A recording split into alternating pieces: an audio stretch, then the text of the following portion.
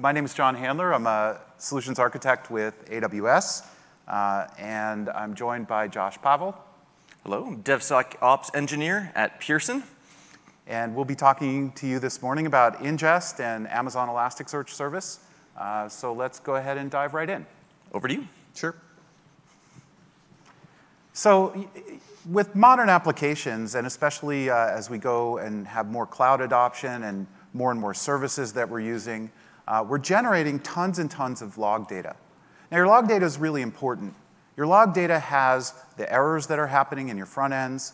It has the performance of what's going on with your application. It has the key performance indicators, things like how people are using your application, what are they buying, et cetera, et cetera.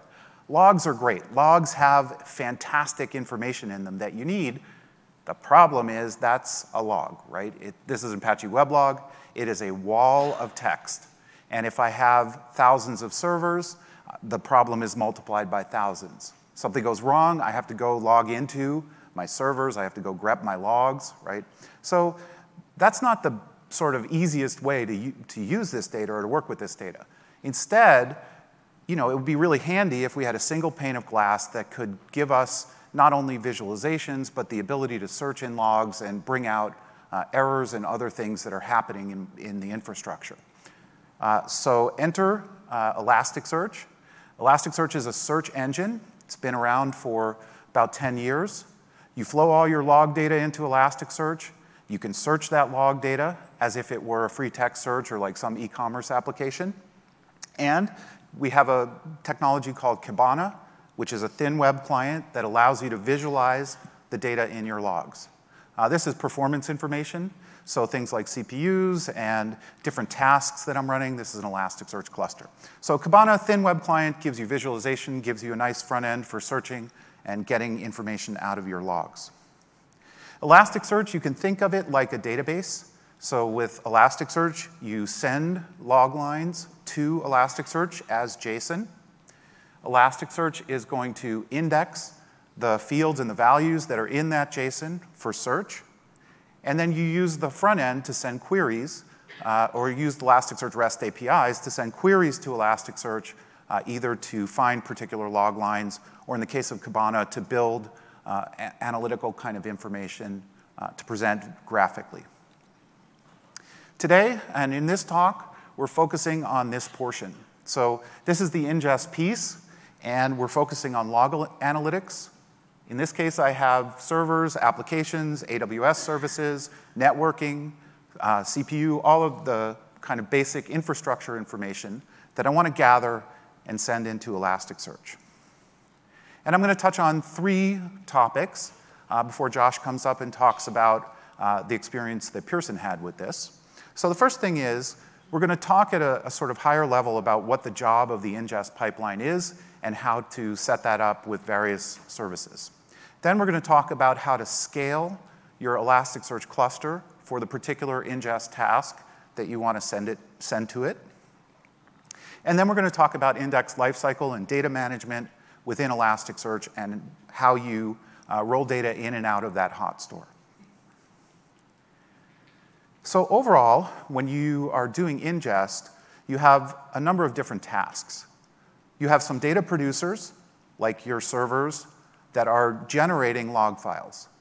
So those have to be transferred from the source systems. We want to collect those and buffer them because we don't want to overwhelm Elasticsearch with connections. So we have to funnel down into a single pathway. We need to transform those log lines because originally they're strings. Elasticsearch works with JSON, so we have to transform. And ultimately, we have to deliver that data to Elasticsearch. We have a second pathway here, uh, which is cold storage. Uh, this is a, a kind of adjunct that we use. So when we have this ingest pathway, we have our hot real-time uh, path, and then we use S3, uh, and now that we've announced UltraWarm will be an interesting addition and change to this slide.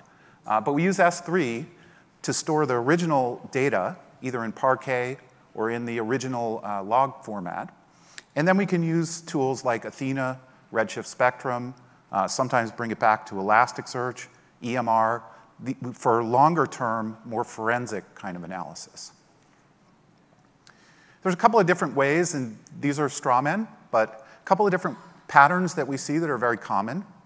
So the first of those is I'm sending my logs directly to S3. When the object is created in S3, it's going to kick off a creation event. I'm going to pick that up with Lambda, and I'm either going to pop it into an SQS queue in this case. That's the collect, right? In the SQS queue, Lambda is going to then transform and deliver the records to Elasticsearch. So this is one common pattern. Another common pattern is to use Amazon Kinesis uh, data streams or Firehose. Uh, with data streams, I'm going to take, say, Fluentd, Logstash, maybe even another stream. That's going to write into a Kinesis data stream. Again, Lambda is going to pick that up, transform, and send to Elasticsearch. Just there's a plethora of options in terms of that set of steps. So I wanted to put up a few, uh, just kind of point at them and say, we have uh, on the collector side, we have the CloudWatch agent and the Kinesis data, uh, Kinesis, sorry, uh, data streams agent uh, that can pick up the logs directly off of your servers. Those we also have in the open source world. Uh, we have FluentBit, Fluentd, uh, Elastic's Beats. And then at JVM, we also have Logstash directly on the instance, picking up those log files, forwarding downstream, and Flume as well. Uh, for buffering, we see a lot of different solutions here. Uh, CloudWatch, SQS, Kinesis Data Streams, S3 itself, Kinesis Data Firehose, IoT. Those would be the AWS kind of options. In the open source world, we see lots of folks using either Kafka, Redis, RabbitMQ, managed streaming for Kafka, ElastiCache for Redis. These are all um, buffering options. Aggregators, you can use AWS Lambda. Again, this is pulling from one of those collector uh, systems. You can use Fluentd, Logstash on the open source side to pull that data out of the buffered buffering option, push it to Elasticsearch. Okay, so we're going to jump topics. And we're going to talk about how to scale your Elasticsearch service domain for your particular ingest workload. So when we think about scaling and when we're trying to do sizing and capacity planning, you want to think about storage and compute. For storage, it's fairly straightforward. You can look at how much log data you're flowing in, and you can calculate from that how much storage you're going to need. That provides you a baseline, a minimum set of instances that you'd need to deploy to support that amount of storage. Then it gets a little bit trickier. Uh, Elasticsearch the resource usage is highly dependent on the data itself, on the, the schema that you're putting in place, on the actual work you're doing when you're ingesting. Um, so once you have that baseline in terms of storage, you can look at the compute and do you have enough to support it. So we're going to we're gonna walk through sort of how you think about that. When you use Amazon Elasticsearch Service, you deploy what we call a, a domain. Domain is hardware and software that provides Elasticsearch for you with, at a REST endpoint.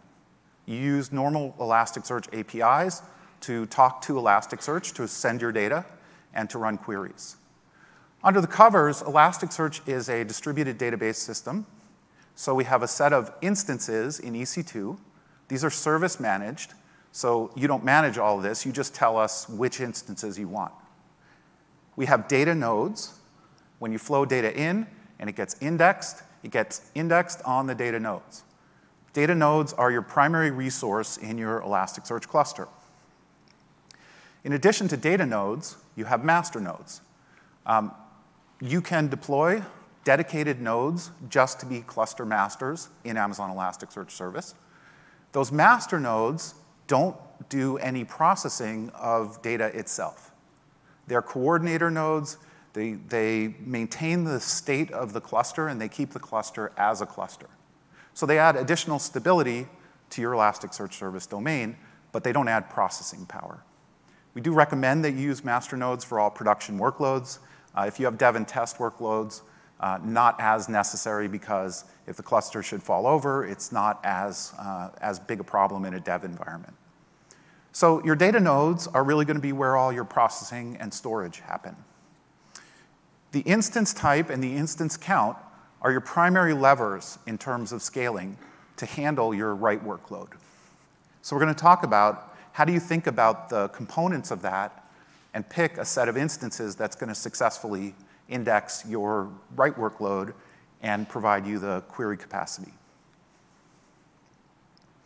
As I said, we like to start with storage. Uh, if we look at storage, uh, this, is a, this is a formula.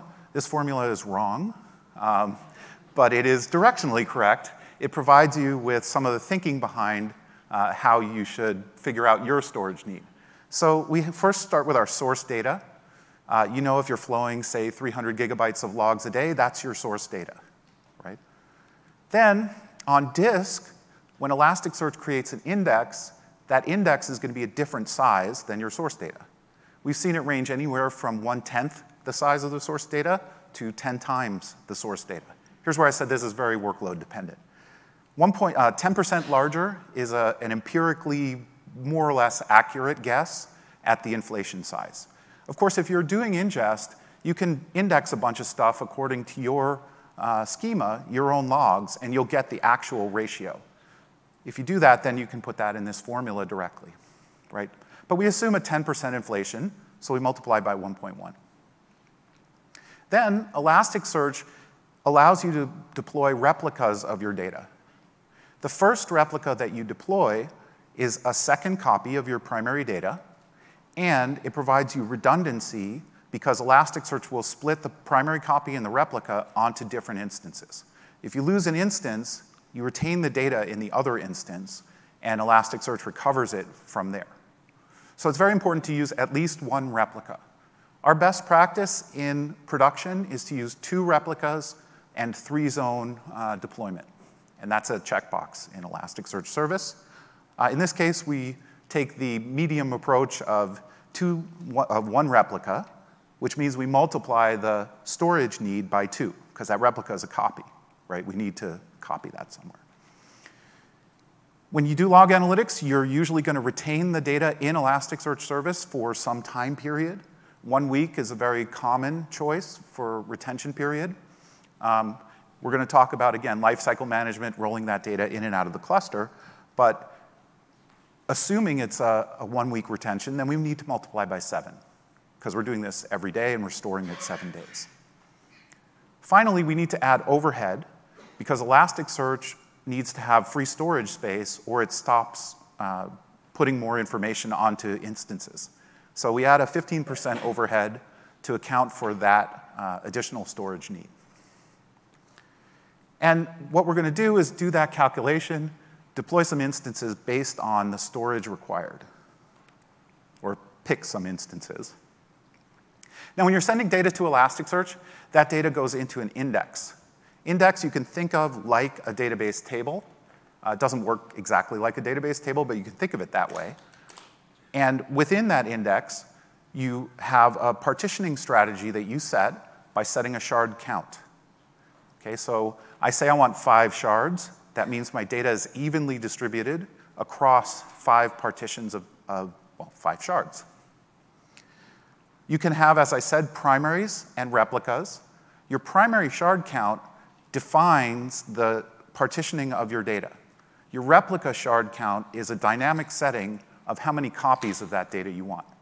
I mentioned the single uh, replica that you use for redundancy.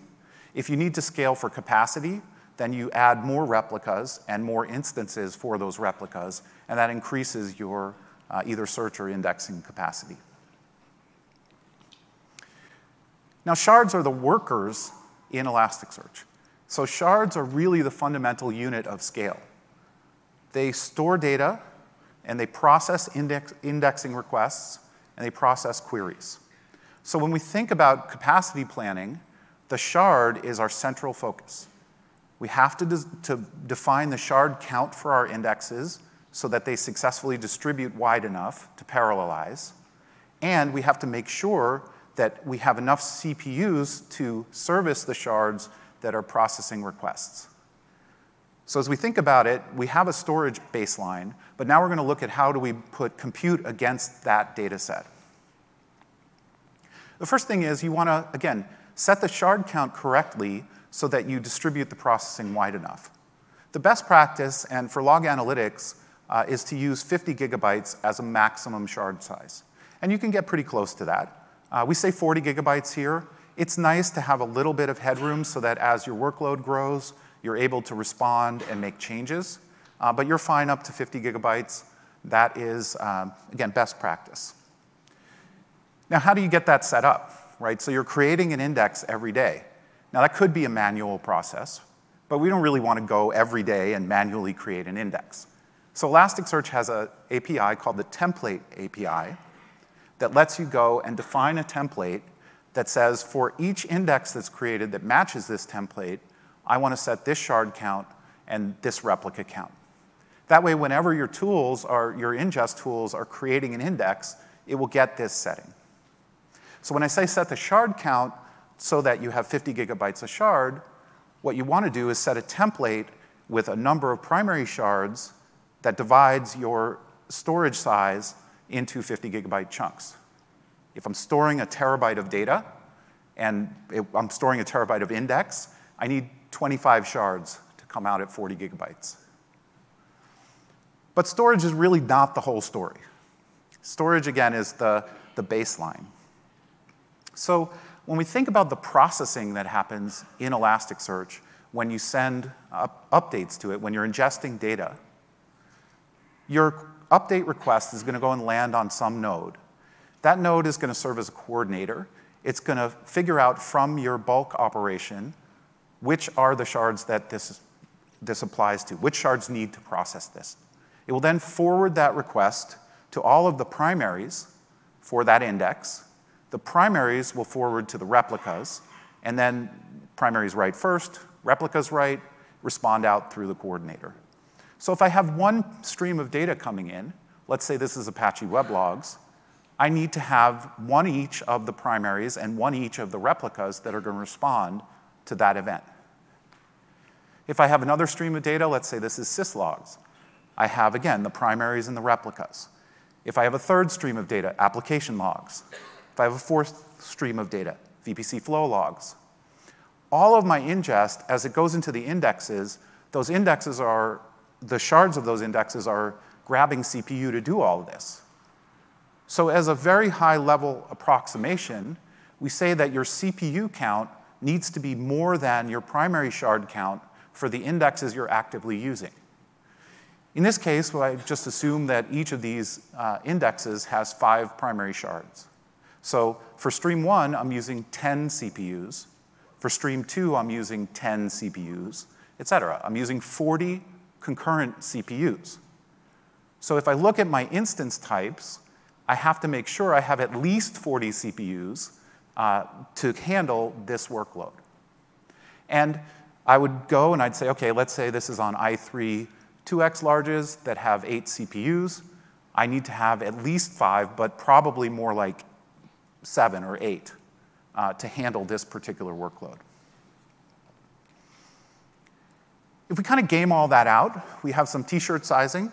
Uh, again, what we're doing here, we have the uh, t-shirt size is just a cut at it. The amount of data that I'm flowing in per day, this is my source. Then I have the storage I need. That comes directly from that formula I gave you. So again, this table is wrong, uh, but it is directionally correct, right? So uh, in this case, storage needed based on seven days. Uh, if you're retaining for 30 days, obviously that all changes, right? That's a storage needed.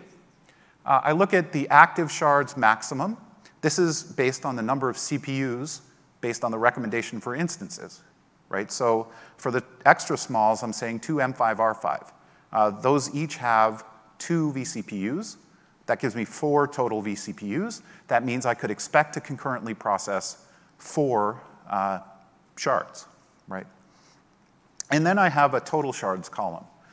We do see uh, commonly, well, not so commonly, but customers do push out beyond that 30,000 shard number. Um, it's, it's a magic number also, but uh, we do see as the number of shards in the cluster grows, uh, total shards, this is not just today's shards, this is also the older data. As that grows, uh, that takes up heap space, it takes up cluster resources. 30,000 is about an expectation, 25,000 on the, on the slide, of where you can push Elasticsearch. Beyond that, stuff starts to go south. Um, so we just very straightforwardly said, okay, let's say I have this extra large workload, 10, ter uh, 10 terabytes a day, 177 terabytes total. Uh, that means I'm going to have uh, these R5 8x larges, and I'm going to run up to 600 uh, concurrent shards. Just a quick comment. We have R5 and i3 as high-performing instances and good instances for the service. In this chart, I picked R5. Uh, R5s are a newer generation processor.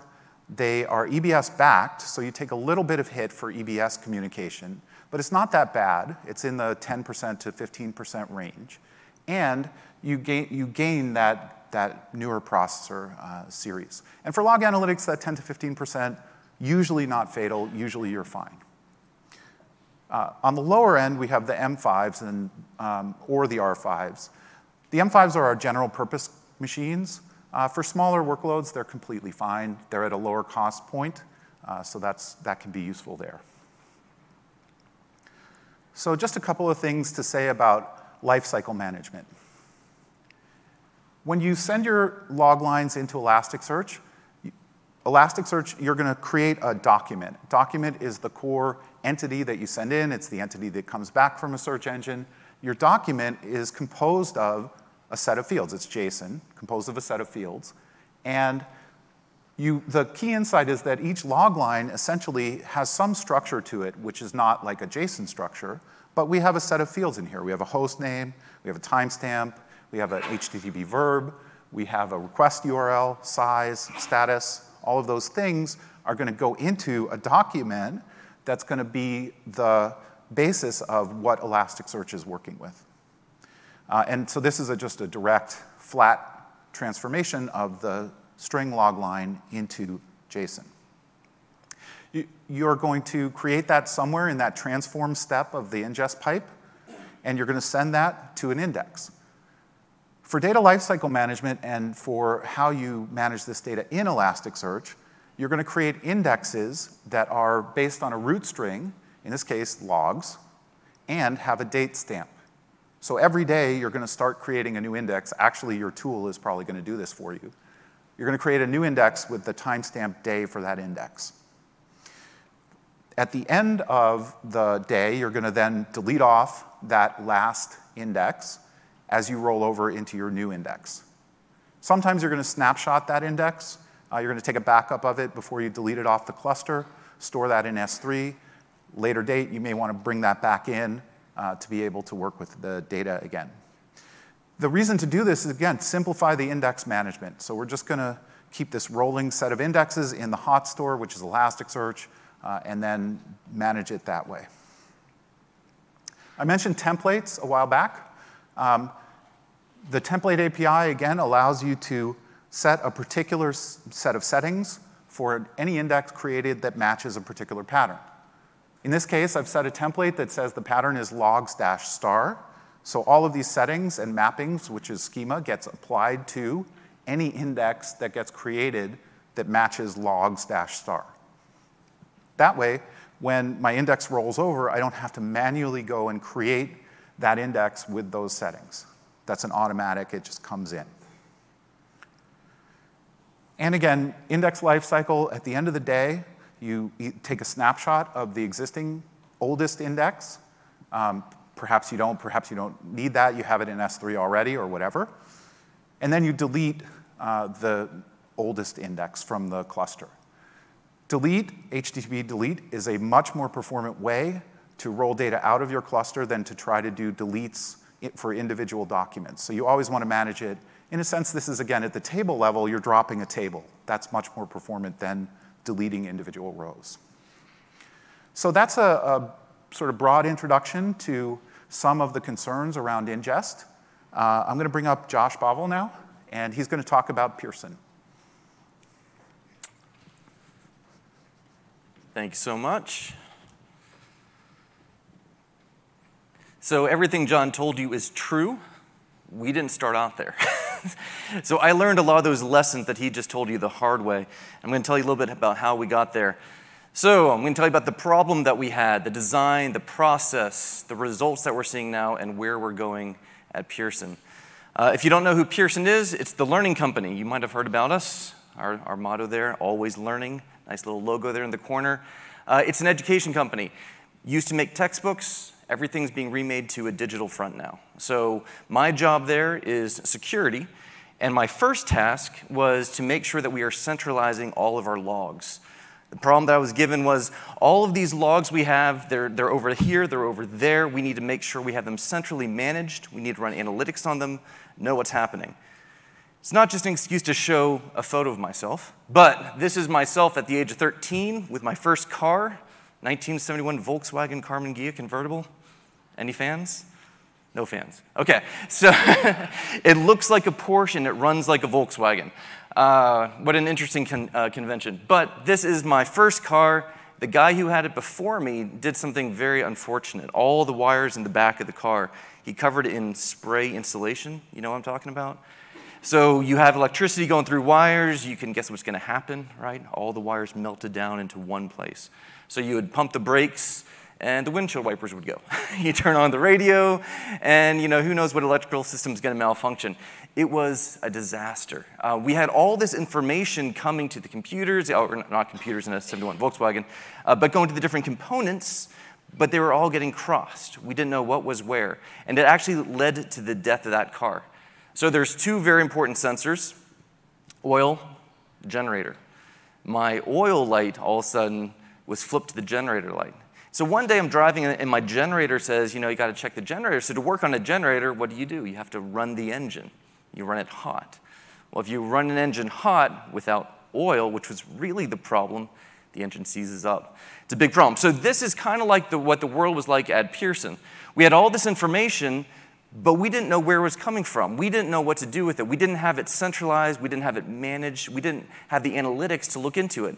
As a security guy, you want to make sure that you know what's happening. One of the worst feelings is saying, Oh, I know exactly where I can find that problem in the logs now that I know where to look for it. It's finding these things after the fact. So, what we needed to do was to go from this idea of chaos ah, to this. If you worked in a server farm, you know what I'm talking about. Your first build always looks like the first one, like this. And then you're like, no, no, no, no, no, I can't do that. I, I unplug one networking cable, everything gets crossed. We all want to live in this world. So, the idea of this is not just how to do this thing, but why. Why do we need to manage this thing at scale? Why do we need to do this well? Why does this matter? Uh, my job is not to run Elasticsearch. I don't know if anybody here, are you running Elasticsearch now? Have you run your own Elasticsearch on your own servers and you've installed the software? But you've got to manage, you've got a managed instance. Okay, this is good. So, yes, the idea is not just that we move these logs to one central place, but we need to do something with them. And so, to get from one state where we were to the new state, I just followed the, the traditional DevOps me method, right? You want to do it first, you, you might do it bad, but you just get it done. So, my very first implementation of Elasticsearch ingest, I had every single log line that I read, and I put it into another Lambda, which I read it, and then I put that single log line into Elasticsearch. And it worked. It was great. And my manager said, Well done. You know, let, let's, let's get more people on here. Let's do it. And for security purposes, that was almost okay for us. But then we started adding customers. More and more accounts wanted to come on here. And as we got that scale, we realized this isn't going to keep up. And it, the problem wasn't Elasticsearch, the problem was how we were using it. So, I like this quote Think of a bicycle wheel. It goes round and round, but it's moving forwards, not standing still. The same circuit around the hub of the wheel becomes part of the forward movement of the bicycle as a whole. We could spend our days worrying about ingest, and we never move forward. We could spend these days trying to just get this thing to scale out, and we're just solving these same problems again and again. We're not actually moving forward. The point of centralizing our logging, the point of doing this thing at scale, is that we can move on to the more interesting problems. I needed to do something with my logs. The point of Elasticsearch, the point of this ingest, the point of our product was that there's some information in there that we need to get to. It's not an academic problem. There are academic problems in there, but it's a functional problem. We need to move somewhere.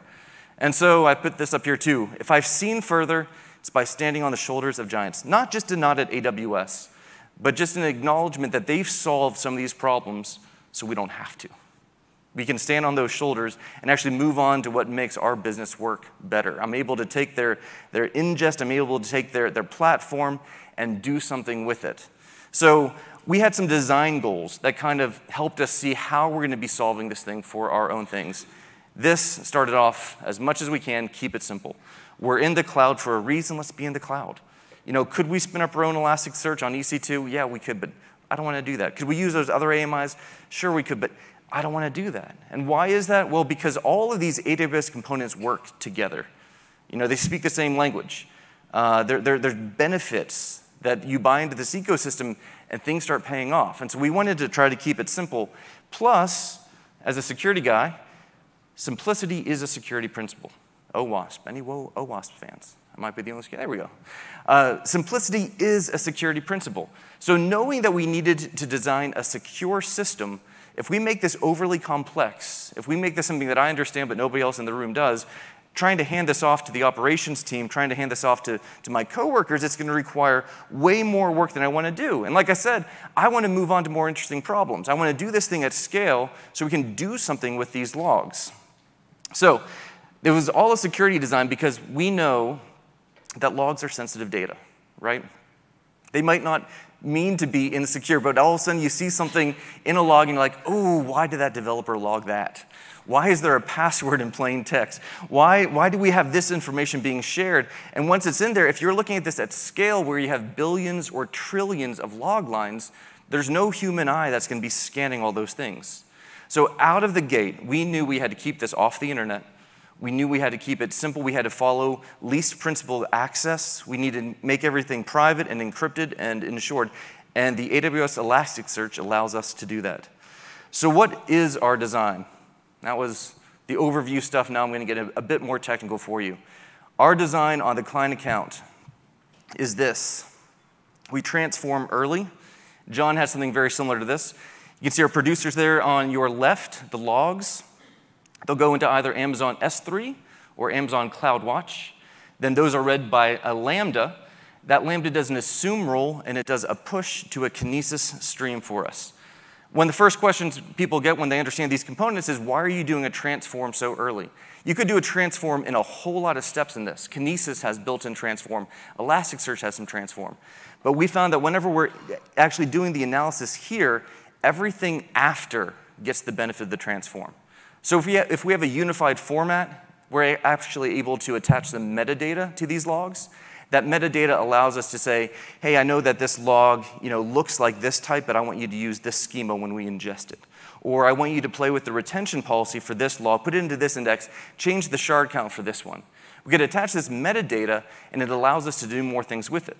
Part of that is also our integration with Splunk. We still have Splunk as a part of our ecosystem. Uh, it does some things slightly different than what Elasticsearch does, and we still have some use cases for that. We don't want to send everything to Splunk. That's a costly thing. It can't handle the same load in the same way that we have with Elasticsearch. So we only want to send a small portion of our logs to Splunk. We're able to tag some data and say, this log, send this one to Splunk. The rest of this, send it right through. All right, so those Kinesis streams connect to one centralized logging account for us. And here is our ingest here. Those same streams you just saw come in here, they go into Kinesis data streams, multiple streams for multiple purposes. We've got CloudTrail, we have VPC flow logs, we have some client application logs. Our Kinesis streams are something that we use to scale this thing. Some of these logs are very, very chatty. Some of them barely get used. GuardDuty, we want to never get used. But we still have a unique stream because when we pull off of Kinesis, we're able to direct that flow to another source. So GuardDuty, we're able to put into a, dis, a different uh, Kinesis Firehose stream, which can send it to our SOC, and they can do their own analysis and process it there. So Kinesis data streams, it's pulled off from that directly into Lambda, and the Lambda pushes it into Elasticsearch for us. That same Kinesis data stream that has that Lambda, it is also read by Firehose, and Firehose, like I was saying, talks to Splunk, and it always puts into S3, and that goes into Glacier for us as well. That is all VPC restricted. We use VPC endpoints. Everything's private, everything's tucked away, everything's secure. Uh, you can't get at these systems. None of our logging, none of our producers can talk directly to our Elasticsearch. Um, but they can all ingest through the pipelines, through these methods that we control. All right, so the results, let's get into some of the numbers. What do we actually see with our system here? So when this started off, and before I, I, I actually came here, we had 14 accounts on there, which is a terrible representation of this um, because that's not true anymore, but also because what does an account mean? An account could mean you know, a thousand lines or it could mean trillions of lines. It's, it's, the number of things in there. But we had 14 accounts, then it was 20 accounts, and I think now we're at almost about 30. And we're adding more all the time. Our end state's going to be probably several hundred, if not thousands, of, of Amazon accounts in this. The data size we're looking at was four terabytes uh, over 30 days. We're scaling and testing this thing to be about 500 terabytes over 30 days. Uh, the number of log lines that, that we're seeing about 17,000 per second. That's actually still old. We're currently seeing, I think, 26,000 lines per second, um, which is going to be a whole lot more log lines for that. And we tested this thing up to 100,000 uh, lines per second. So that's pretty good ingest. But how do we do this? These are our processing times as it comes through that whole system. So from that client account producer until it's realized in S3, until it's realized in Elasticsearch, or until it's in Splunk. So you can see right here, I, I gave you my, my good max, my minimum, and my average. All right, the maximum, don't let that concern you. But if you notice, our max for the worst case here is our delivery to Elasticsearch max is 18,000 milliseconds. That's not so bad. Uh, in fact, when we designed this thing, we weren't wanting to be necessarily real time. I don't know how you define real time. But you know, you want to have a small window between its, when it's produced and whenever it's visible. So 18,000 milliseconds isn't so bad, but if you look at our average for our delivered Elasticsearch, our average is just over 2,000 milliseconds, and our minimum is barely even 100 milliseconds. And we do all this through bulking, uh, bulk and batch. Pardon me. And the, the biggest hit there, when you look at our maximum scores, it's whenever Lambda spin up a new container, right? A little bit of a cold storage hit whenever you do that, but there's very few that are going to be hitting our, our max limit here. All right. So, one of the things people ask is, what are we paying for? What's the cost? And let me just say, I have this as a pie chart because uh, one of the concerns people ask is, you know, we've got this client infrastructure. If you've got this installed into every region, if you've got people that need to install lambdas in every region that have to talk to this centralized kinesis, if I have all these shards of, of kinesis, I've got shards of Elasticsearch, what am I actually paying for? So whenever we talk to customers that are going to be onboarding to our account, we make sure that they understand so little of this is on that customer side. That ingest pipeline itself is a small percentage of this. So only 6% of this is what I would consider the pipeline that's coming into us. Uh, the rest that we're paying for is the storage. And the great thing about that, that storage, those data nodes, those master nodes, you can scale that up and down as it re results for your need. So you don't have to worry about that as much. For our 6%, for those client accounts, again, what we're seeing here is Kinesis is a big part of it. The Lambda, those portions of it are very, very small. The master nodes made into the 6% as well, but it's not a concern. Comparing this, for instance, to our Splunk installation, which is not to speak ill of Splunk, they do different things, it's a fraction of the cost. We're able to deploy this, and our customers are able to get a benefit of a centralized logging solution without having to buy into this whole big ecosystem. Uh, what they're paying for, what they see, is just a small part of this. So if you've done this, I want to walk you through some of our specific lessons learned. This is, uh, I mean, we bumped our knees on and our shins on every dining room table in the place, all right? I, I, I refused to listen to Jon's wise, sage advice, and, I, and I, I thought we could do this our own ways. I didn't want to do daily indices. I thought, oh, I can do this with just one index, and I can just keep writing to that thing. It'll scale better, it'll, it'll work fine. But quickly, quickly, quickly, we learned right off the bat bulk and batch. Every chance you get bulk and batch. At scale, there's no way around this. Bulk add to Kinesis. Bulk add to Elasticsearch. There's a Python library. You can just ingest it right away. Batch process your events in Lambdas. Batch size reading from Kinesis. Uh, this stuff made a huge performance difference for us. And this is all it took. On the client Lambda, put record became put records. It's really that simple. I really wish somebody had said RTFM, Josh. It's, it's, it's right there. there. There's a call for it. You know, put records. Now, I had to do some data manipulation. We need to make sure that we, we created an array instead of a single instance. But again, if you guys have done this, that's not so bad. When we're ingesting it into Elasticsearch, helpers.bulk. Again, same data structure, you just have all these files together, you, all, you put them together, you can just do this push. And all of a sudden, what was a single line and what was taking that, that processing time away from everything else, we're able to bulk together. We're doing 1,000, 2,000, 3,000 bulk pushes at the same time, and it is exponentially improved on our CPUs. Credential duration matters. If you guys remember from our diagram here, we have a client that authorizes, does an assume role to put into our Kinesis stream. Now, whenever I first did this, you know, I'm a security guy. I want to make sure that I have short-lived tokens and, and these credentials are there. So I'm going to authorize every single time that I'm going to write to Kinesis. Now, conceptually, I get that. But what we noticed quickly was 50% of our logs were assume roles for our client logging because every single time we push into the system, we have to do an assume role. So it was creating exponentially more logs as there's like three or four log entries for every assume role that I'm doing to put it into the system. So it just was this non-stop slaughter of authorization requests. So realize that that's really not going to help our problem at all. I don't want to not log authorization requests. So how, what do I do? And so credential, credential duration matters. I authorize the container that runs the Lambda one time as it spins up. I run the credential there. I check to make sure it's valid. And then I do my push to Kinesis. It's a constant system. I don't know about you guys, but we never have a second where we don't have logs going, right? Something's chatting, something's doing something. VPC flow logs are coming from something. CloudTrail's doing something.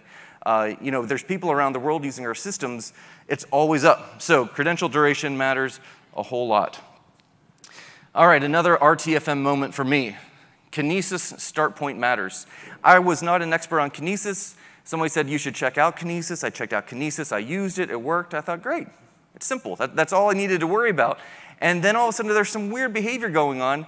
And I had to do some troubleshooting and digging. And this is what I wish somebody had said to me. I use latest. Latest sounds good. You know, if I want to start reading off of a Kinesis stream and push it into Elasticsearch, I'm going to use latest. And so I started using latest, and, and what I noticed was there's every now and then there's a problem where my logs would get reprocessed. I would hit a stumbling block, and then it would just churn the same logs again. And hit that same stumbling block, and they would churn the same logs again, always from that latest point. Because I was bulked these requests, I bulked these out, and the retry was here, so it would come back and it would try again from that latest point until that part. What we wanted to use was trim horizon. And it's right there in the manual. trim horizon, start streaming at the last untrimmed record in the shard, which is the oldest data record in the shard. Um, that was what I wanted to do. If it hasn't been trimmed off, start from that point. Uh, that allowed my dead letter queue, that allowed my retry to function as we had them designed. So again, guys, the documentation's there. You think you know these things, learn the best practices. You can find something that's gonna help you out a whole lot but what this allowed us to see was that reprocessing was a great stress test for us. We reprocessed millions of logs in a few seconds, and the impressive thing was our Elasticsearch never fell over. Our, our buffering system that we have in Kinesis never fell over. Uh, we noticed it in the logs. We had to look and see, and this is what I want to tell you. Where do you see these problems? Iterator age. our iterator age tells you how long something is sitting in these queues. Uh, how long is it taking these, these lambdas to pick things off the queue? How long is it taking Kinesis to get stuff off of Kinesis and into the next stage of, of your design? So watching our iterator age allows us to see whenever there's a problem slowing things down. The other thing was whenever we were exceeding our read throughput or our write throughput. We hit this one a number of times. We saw this problem, and it was an API call limit. And I was a little frustrated this one. I was like, well, how are we running out of APIs? We're, we have Firehose, we have Lambda making uh, API calls against Kinesis. How are we running out of these things? And so we started playing with multiple streams, and that, that helped it a little bit. But it was the shard count inside Kinesis. Increasing the number of shards that we had in Kinesis allowed us to increase the number of APIs that we can make against those things. But we would see the problem. You'd see little blips here. We haven't had one in a while, which is why I couldn't get a good graph of it for this slide. But we'd see these little blips where we'd have this, this error, and that would tell us, oh, we, we ran out of APIs again. We, we need to scale out our Kinesis. Again, though, with the dead letter queue and retry, those blips were non-fatal. We didn't lose a log through this whole thing. So what are we doing with this data? And this is actually in this portion because part of what we're doing is we're alerting on our system itself. If ingest falls to zero, If there's a problem somewhere in this pipeline, I need to know about it. If I'm missing some logs, I need to know about it. So ingestion fails is, one of the things that we're, we're looking for. Authentication failures, console sign-in failures, all these things for us are webhooks to Slack. So this is real-time analytics, what's going on in our systems right now, posted in Slack so somebody knows and somebody knows what to do about it. Uh, we needed to keep these things simple. This is just a, a, a, simple list of those things that we're seeing. A lot of these are trends that we need to track over time, but some of this stuff we need to know right away. And this is an example of what we see in Slack.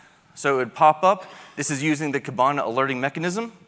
And it will say, you know, here's the index, this is the region, this is the source, and we have this API call being denied. Now, why, was, why is that the case? Well, it could be API threshold limits, it could be somebody's trying to do something that they don't have IAM access controls to, um, but this is what we began seeing as soon as we turned this on. These were happening all the time, by the way, and we just had no idea. It's again like my Karmann Ghia with the, those blue wires that are, are, crossed, and you're getting these messages, but you don't know what's going on. It, it's a, a tree falling in the forest. Is it making any sound, right? So we needed to know what was happening. We need to make sure that we could pull those things out so we could process them. This is just an example of one of the visualizations we have on it. Uh, these are security runs we have by account, and you can see the findings. I have pertinent information blacked out because I don't want you guys to know about it. All right, another lesson learned. Watch your field growth. Watch your field growth. Um, this is something that, that as your JSON blobs get more and more complex, the, the potential fields that you're going to get in these JSON blobs that, that are, are defining your records, it's going to grow. And CloudTrail, oh, CloudTrail was the real, real instigator of this for us. So these fields would grow, and all of a sudden I would see these errors pop up through our, our alerts that all of a sudden our ingestion is, is failing. You look through the logs, and Elasticsearch is rejecting these things because it won't create any new fields. There's a field limit saying, I'm not going to let this thing get out of control. You can't have a million different fields in one of these, document types. We've got to make sure we limit that. So, index.mapping total field limit. This is the way that whenever you're creating an index, that you're able to set something that defines some extent of how far, how deep CloudTrail can go. All right, when we're tuning this, we're uh, running this in a Lambda for us because, again, we don't want to be doing this by hand. I want to solve more interesting problems. Uh, what we found, kind of like what Jon was saying, storage is cheap, but shards are not. We have to calculate for shards. Shards are what manage for us. If, if you've done your own Elasticsearch, and a lot of you had, you can actually get different sized nodes right in Elasticsearch cluster that you can pin different data types to. It's complex, it's very time consuming, but you can do it. I, I have a, a, a, high throughput disk on, on this one. I want to put you know, really rapid writing things to this. I have a lot of storage on this one, but I hardly ever access it. I'm going to change you know, the type of logs that go there. But in Elasticsearch, you get the same type, which is great, but it means that you need to know what you're getting into. We found we're trying to keep our shards at about 20 gigs. Uh, we haven't really needed to, to, go to the 40 gigs that, that Jon mentioned. Most of ours were well under that because of daily rotation keeping our, our, our shards per node less than 3,000. And then we found out that when we hit about 10,000 shards, we needed to reevaluate, figure out what's going on with this. Are, are we still seeing this thing working well? But again, your type of data will matter. What data are you putting in here? How often are you reading? What's hot? What's cold? What's being used all the time? Very simple little way to, to calculate how many data nodes you have. Jon's was better. You should use that one. Okay. Our tuning algorithm persistent cluster max shards per node, you can set your own value with that, right? How many shards do I need per node? I can scale this up, I can scale this down, make sure that we're not overdoing our shard count. But on index creation, it matters as well. This is where we fix CloudTrail. Index mapping total fields limit, 5,000. We haven't gone over that yet with CloudTrail. I don't exactly know how many fields you know, CloudTrail is going to need, but it's less than 5,000 with our use case. Uh, same thing Jon had there, number of shards and our number of replicas. I can't go below one replica. It might use a lot of shards, but even though this is only our, our, our real-time analytics, nothing, no data, if it fails to go into Elasticsearch, we don't lose the data. But even still, you know, I want the system to stay up. I want to make sure that people can trust it and we know that we can rely on this. So I leave my replicas at one. All right, another lesson learned. Nested fields. If you are a developer, arrays are your friend right? Just put it all in there. It can, it can scale. I have 10, 15, 20 items in this list. That's great. In Kibana, fields are so hard to parse. uh, to get a visualization, to try to make something happen. If you've got something in an array, it's not going to work so well in Kibana. We had to really work with our developers on some custom logs to flatten this data. Part of the, the wonderful things about our design is that we do that transform.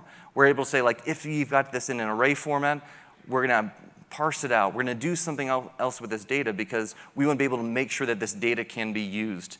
So, nested fields, or also making these flatter. Index rotation. I fought this one for a long time. Jon gave us exactly what we need to do, a daily rotation. We were doing deletes by query, and I was like, it's fine. You know, it, it, it works fine for our, our, security logs and CloudTrail and VPC flow logs. I, I can say anything older than 30 days, delete. And I started running that query on a daily basis, and it, it took five minutes. That's fine. Started taking 20 minutes, then it took 30 minutes, then it took an hour, and then it took four hours. And then I was like, okay, delete by query, I'm, I'm over you. I, I, I, need to do this a better way.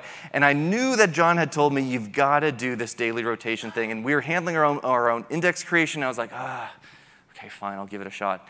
Our index deletion now is just seconds. Uh, we're able to rotate this data off, maintain our integrity, and there's no compute power being wasted for that. Because the problem is those delete by queries, when they're running, they're taking CPU away from other things as well. Uh, and there's always this ingest coming in. So if we're running those queries to delete, it's not going to work out for us. It simplifies retention. Uh, it does complicate our access controls. We care a whole lot about who can see what data. Like I said, logs are secure. They're private data. So we need to make sure that whenever somebody's getting into these systems, they only have access to logs that they need to.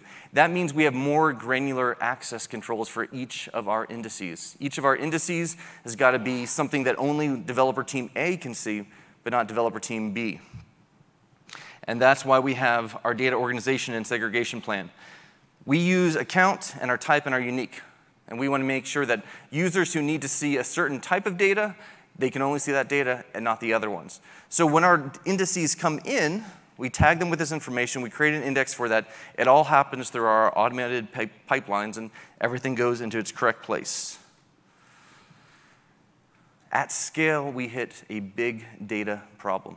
Uh, this didn't happen at first. Uh, this took maybe nine months for us to see this thing pop up. So we have all this data coming in, we have terabytes of data, and we're running our queries, we're running our alerts, we're running our visualizations, and all of a sudden the visuals, visualizations that I ran every single day started failing with this very cryptic message, payload content length greater than maximum allowed.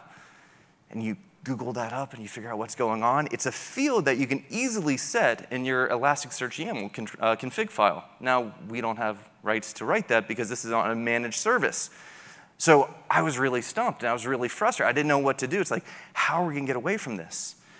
Well, this was back before we were doing our daily indices. And what was happening was this was all a big browser request, sending all this data through to the browser. And as soon as we moved to a daily index, it got chunked up and it came through. A daily index actually solved this problem for us. All right, so this whole design for us, as compared to the alternates that we evaluated, it's the most flexible, it's the most scalable. We were able to do it in one of the most secure ways. It's effective just because it works and the cost is way, way, way less than all the other solutions that we looked at. And at the end of the day, you know, for my uses, it's, it's great. I care about security. I need to make sure that that works. Other people at our company, they care about the cost. They want to make sure that we're not spending money on things that we're not using. We need to make sure that it's actually accomplishing that point, that we're not just checking a box saying our logs are now centralized. Isn't that nice? No, we need to make sure that we're able to action them, analyze them, do things with them. So this has been our best bet What's next for us? Uh, Jon showed some things in the beginning with this. We're going to be pursuing the same thing in a slightly different way. Um, we are going to be adding active listeners. So we've got right now where we can read from S3 and where we can read from CloudWatch. We're going to be adding probably Logstash in ECS using Fargate. And we got a proof of concept stood up for this. It works great. It's an active listener, meaning you can just talk to this Logstash, and it's able to write these logs back into S3 for us, and we can just go straight from there. We've also got an API gateway proof of concept. This is for people that want to like call a put API with their log information in there. If you've got application developers, sometimes they'd like to have that sort of interface. So we have an API gateway. That API gateway is actually going to call our same Lambda again, It's just a different interface to the same thing. And so that's going to work as more people on board. They have different ways they want to ingest that. But we're able to leave the, the rest of our pipeline the exact same. You want to come back up, Jon?